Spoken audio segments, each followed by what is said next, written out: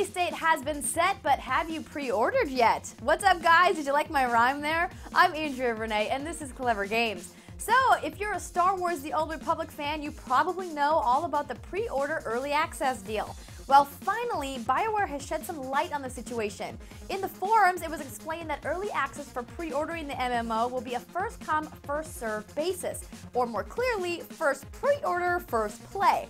So if you've already pre-ordered and have yet to redeem your pre-order code, you should get on that stat. Senior online community manager Stephen Reid posted, Everyone who pre-orders Star Wars The Old Republic and redeems their pre-order code will get early game access. Those who do this will be able to download the game client and play the game ahead of the release date. Alright, so just how far in advance do you get to play? Well, that hasn't exactly been determined yet. BioWare is still figuring in game testing and pre-order numbers, but they promise to announce it before the start date, giving you enough time to download and install the client.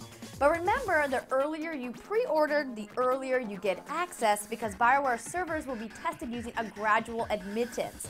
In essence, it is a beta of sorts to test out the strength of the servers. They haven't confirmed how the staggering of gamers will work, but I'm sure more details will be arriving soon. And they want gamers to know the staggering will be a difference of days, not weeks, so don't sweat it too much if you are late to the TOR pre-order party. There's still time. For more news on Star Wars The Old Republic, including a hands-on demo from PAX Prime, check out the coverage on our channel page and be sure to click subscribe to get all the latest news. I'm Andrea Renee, and thanks for watching Clevver Games.